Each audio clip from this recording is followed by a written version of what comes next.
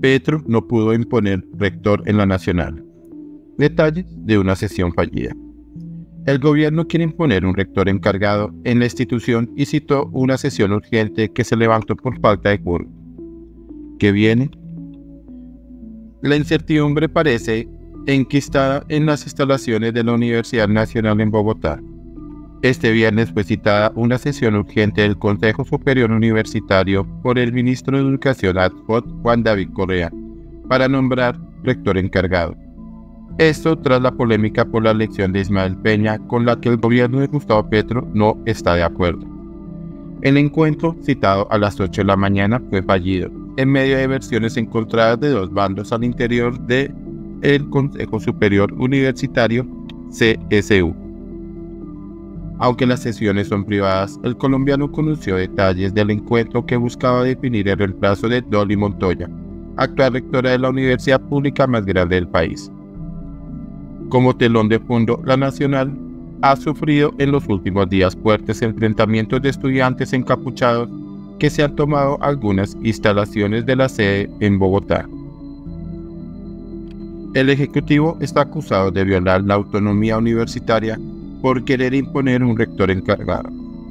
De hecho, la Procuraduría ordenó la apertura de una investigación contra el ministro de Educación actual, Juan David Correa, por presunta extralimitación de funciones. ¿Hubo o no hubo quórum?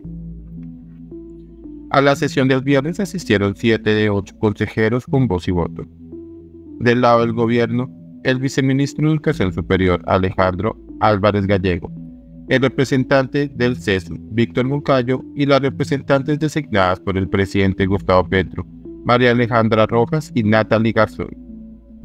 De otro lado, del bando de quienes se oponen a la designación de un rector encargado, asistieron Verónica Botero, decana de la Facultad de Minas de Medellín y designada por el Consejo Académico, el representante de los profesores Diego Torres y el representante de los ex rectores Ignacio Mantilla. Justo al iniciar la sesión, el profesor Torres señaló que estaban pendientes por abordar las recusaciones a algunos miembros del Consejo, entre ellas la de la Procuraduría en contra del ministro Ascot Correa, representado por el viceministro Álvarez, como delegado del gobierno.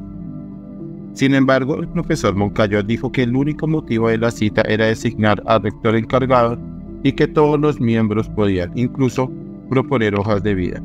Sobre una eventual votación, el bando del gobierno señaló que era suficiente con cuatro votos como mayoría, ya que el cálculo según ellos era con base en los siete miembros presentes.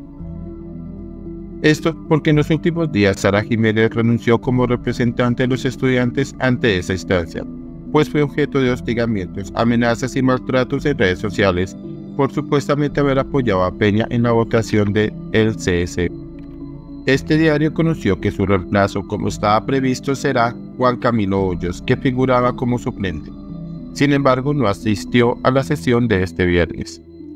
Luego de otras intervenciones hubo versiones e interpretaciones cruzadas sobre lo ocurrido.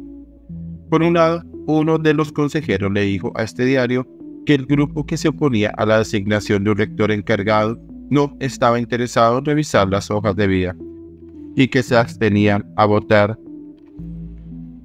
porque sobre el proceso solo podía interceder un juez y decidir frente al sistema con el que eligieron a Ismael Peña. Por eso Torres, Mantilla y Botero dejaron constancia que si los otros consejeros querían votar con cuatro votos, pues ellos aceptaban. Pero la sesión se levantó. Sin embargo, otra cosa dijo María Alejandra Rojas, consejera designada por el presidente. La sesión del CSU se terminó por la decisión de retirarse de la sala de Ignacio Mantilla, Diego Torres y Verónica Botero. Esta última se había retirado para ingresar a una cita médica. Por tanto, por parte de quórum no fue posible continuar. Horas después, también a través de redes sociales, desmintió la versión del bando contrario. Que alguien explique de qué manera se retiran tres personas de una reunión virtual, por los motivos que sean dejando a cuatro presentes sin que ello signifique romper el quórum, que según ellos mismos requiere cinco. Ya son suficientes las burlas. ¿Qué sigue? Quienes no reconocen la elección de Peña dicen que el quórum se rompió por parte del bloque Torres Botero Mantilla. Se está pasando de cuestionar la elección de rector, pero la ambigüedad no permitió que entraran las acciones legales. Ya la decisión está por fuera del Consejo Universitario y no como insiste el Ministerio de Educación Nacional, dijo el profesor y consejero Diego Torres. Por su parte, el presidente Petro a través de la red social X no dio su brazo a torcer y atizó el juego. El gobierno no reconoce el sistema de elección irregular de rector que se presentó en el Consejo Superior de la Universidad Nacional, desconociendo la voluntad democrática de la mayoría de los integrantes de la universidad, ni mucho menos una posesión aún más irregular al cargo de rector. Democracia es el voto de las mayorías, la protección de las minorías y las reglas transparentes, aseguró. El Consejo que se oponen a la postura del gobierno, por su parte, se sienten maltratados y temen que la próxima que venga sea una millonaria sanción por un eventual detrimento patrimonial, en la que estarían sometidos los miembros del CSU por no cumplir con la orden por parte del Ejecutivo, según la resolución firmada por el miembro ad hoc Juan David Correa. El balón está en las acciones judiciales que se le adelanten, y si llega a citar una nueva sesión la próxima semana, el voto del representante de los estudiantes Juan Camilo Hoyos sería clave en la balanza. Por su parte, Aurora Vergara, que sigue siendo la ministra de Educación, se declaró impedida para actuar en los temas que refieren a la elección de rector y por eso el presidente designó a Correa.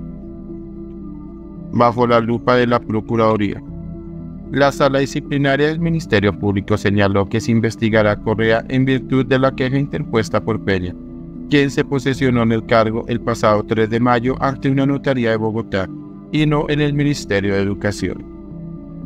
El profesor en un mensaje difundido por las redes sociales de la Nacional expresó que la decisión del ministro Correa se tomó sin que cuenten con el pronunciamiento de autoridades judiciales y que viola la autonomía universitaria y desconoce principios fundamentales del derecho como el del debido proceso. Este diario consultó a un ex rector de la Nacional y un experto de educación sobre los impactos de esta resolución del ministerio. Ramón Fayad, rector encargado en 2005, expresó que es una intromisión indebida en el gobierno y que llama la atención que se cambie la ministra por uno ad hoc cuando lo pudo haber hecho desde el primer momento. Por su parte, el experto en educación y fundador del Instituto Alberto Merani, Julián de Sabiria, consideró que es una intervención porque un principio de la autonomía universitaria es que las problemáticas de la institución deben resolverse sin interferencias.